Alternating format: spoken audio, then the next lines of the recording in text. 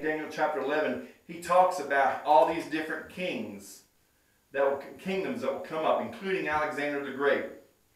Well, what happens? There's a guy. There was a guy named um, Antiochus Epiphanes, and what and what he did, he was a, he was this um, Gentile ruler, and he takes over Jerusalem.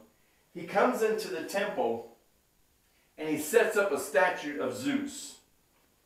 And not only does he set up a statue of Zeus, but he ends up taking a bunch of pigs, boiling them, and spraying the whole temple down with pig water.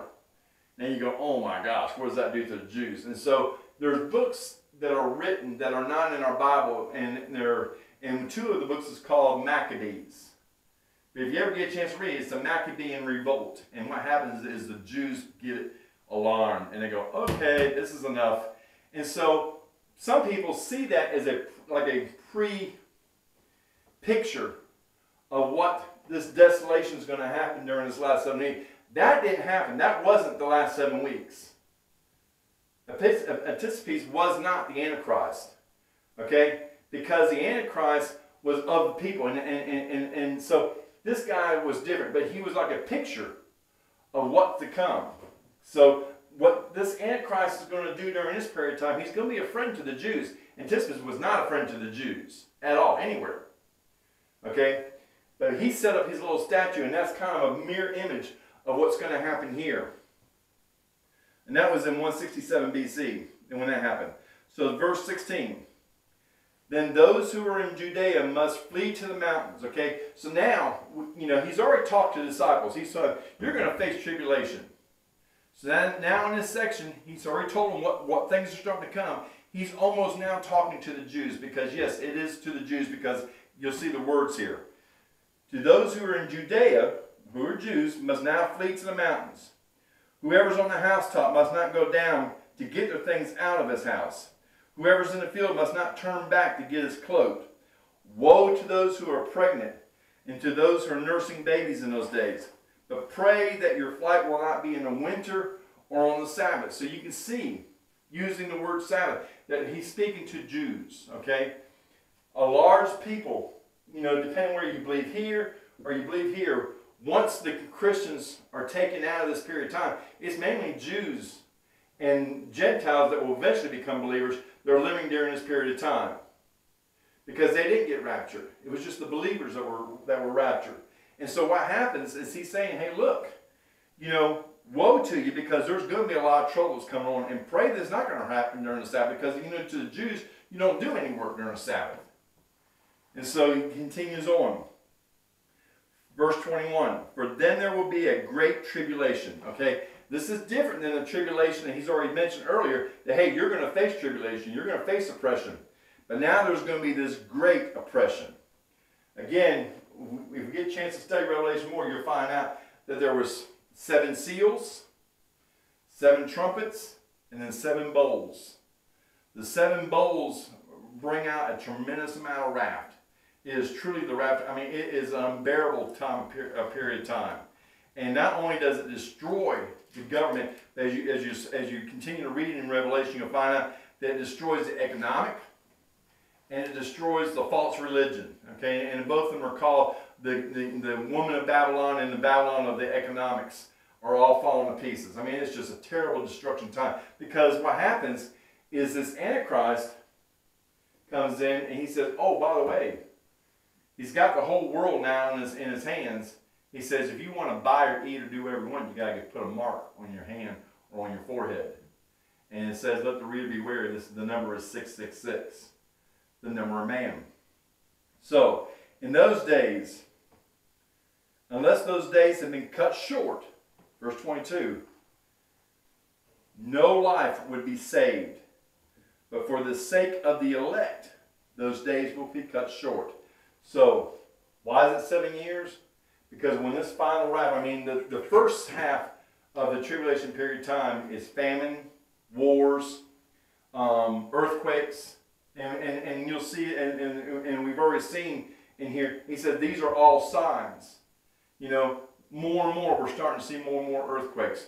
We're starting to see more famine. COVID, without a shadow of doubt, in my mind, is just another one of these little birth pains Because now we've seen not only in America, but we've seen the whole world basically control people and say what you can and can't do in every country. COVID's still running wide open. I don't know if you heard the news or not. India has had an enormous amount of ca- cases than they've ever had before. America's starting to, the, the decline is starting to go, but still, I don't know where the end of this is coming at is with this COVID stuff. But still, it's not something to be feared any more than what we're reading here is something to be feared. It's not to be feared because as believers, we know who's on the throne. As believers, we know what's going to happen. He's given us this information. Again, not to entertain us, to encourage us and to encourage each other. So he goes on, verse 23. If then, if anyone says to you, Behold, here is the Christ, or there he is, don't believe him. For false Christs and false prophets will rise and will show great signs and wonders, and so to mislead, if possible, even the elect. Okay, so let's just stop right there. Again, there's been, Satan is an angel. Okay, so let's kind of understand what's going on. There's first the, in, the, in Revelation they call him the dragon also. But there's the dragon, there's the Antichrist, and then there's this guy named the false prophet. Okay, the Antichrist sets up a, a, a temple, I mean a, a statue of himself inside the holy temple. Okay, and says you're going to worship me. So they create this image, and then the false prophet ends up getting all the people and says, You need to do this, you need to do this. It's almost like an unholy trinity. Because here you have the devil, the dragon being God. You have this Antichrist who comes to appear to look like a false Messiah. And then you have this false prophet that's doing basically the role of the Holy Spirit. And so there's all these, all three of these forces coming together. Now, when you read after the Battle of Armageddon, it says that the false prophet and the Antichrist are cast immediately into the lake of fire. That's the final destination. That's the foundation of death. That's the final destination of hell. That's the final destination. They don't even go to hell. They don't even go to you know hell. They go straight to the lake of fire. Satan, on the other hand, is taken and is chained up and put into a prison, into a pit for a thousand years. And during that thousand years, Christ is going to rule on earth. But then there's an interesting little section It's only short. It says, then Satan's going to be released.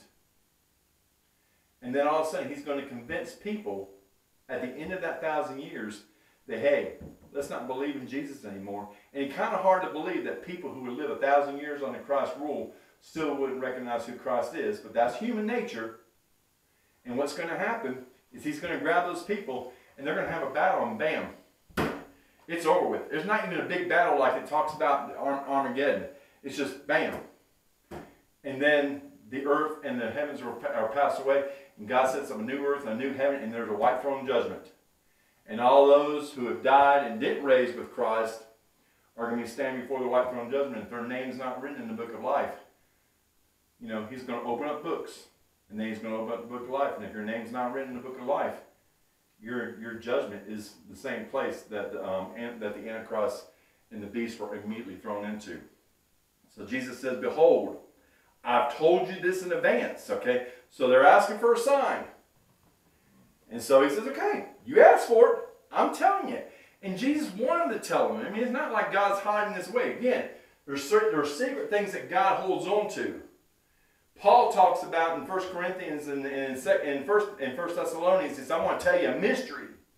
That's a, that's a secret of God that was never told in the Old Testament that talks about the rapture. He says, I want to tell you something. We're all not going to die.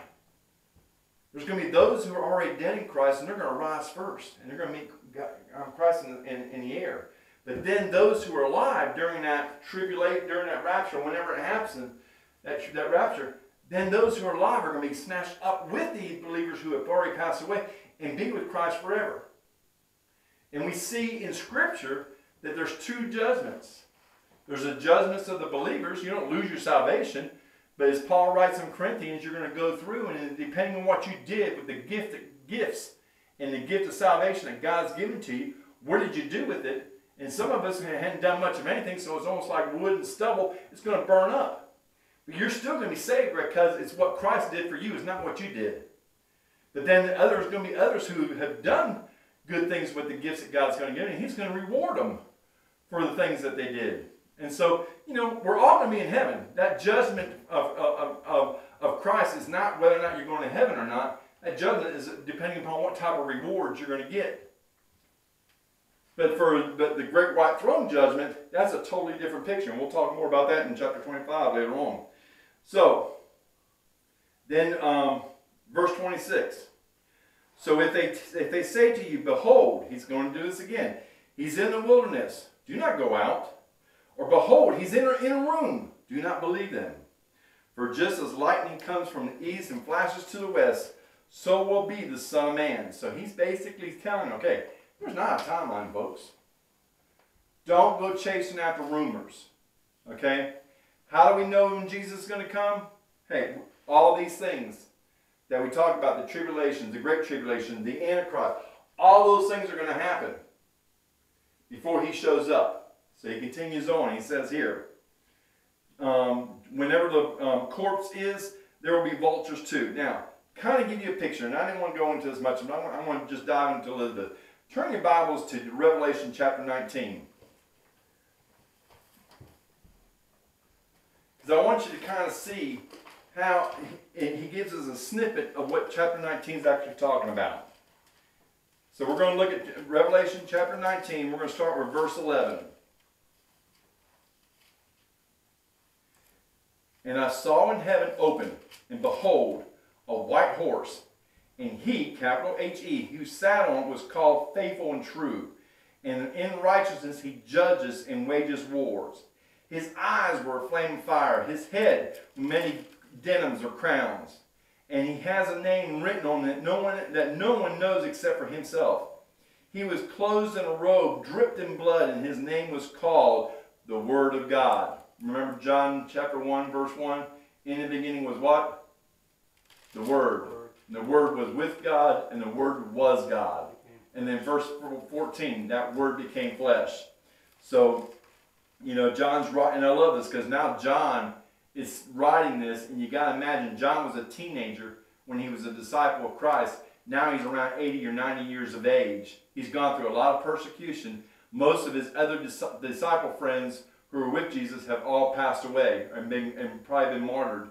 He's been, he's been mistreated, but he hasn't died. In fact, there is no recording of, of John ever dying as a martyr. He probably eventually did die of a natural death. But John is, God gives John this vision. And so he says, in, in the name of, uh, name of, in the name on him was, was the word of God. And the armies which were in heaven, clothed in white linens, white, white and clean, were following him on white horses. Okay, guess who that is? and us, and from and from his mouth came what? A sharp sword. What's the sharp sword? Ephesians. What, what weapon do we have? The word of God, his word. So out of his mouth comes a sharp sword, so that he may strike down the nations, and he will rule them with an iron rod. He will tread the winepress of the fierce wrath of God the Almighty. And on his robe and on his thigh was the name, King of Kings and Lord of Lords. And then I saw an angel standing in the sun. He cried out in a loud voice, and he said, Get this, here it is. Say to the birds which fly in the mid heavens, Come and assemble for the great supper of the Lord God.